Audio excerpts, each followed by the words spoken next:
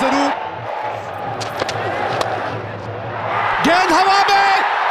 और पकड़ लिया है कैच। टप्पे पे गेंदबाजी अगर आप करेंगे तो तकलीफ़ आएगी सेट बल्लेबाज चले वापस। विकेट। वाह भाई, boom boom Bumrah direct hit. फंस यहाँ क्या? डाइव लगानी पड़ी है तो मतलब मुश्किल में थे।